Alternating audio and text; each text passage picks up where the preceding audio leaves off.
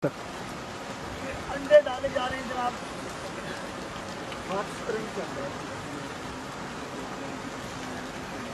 गर्म पानी। सर्दी के अंदर भी यहाँ आप दो मिनट में अंडे उबाल सकते हैं।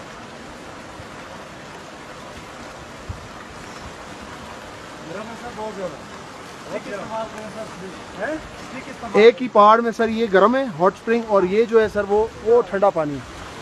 वो ठंडा पानी। एक ही पार्ट अल्लाह की कुदरत से।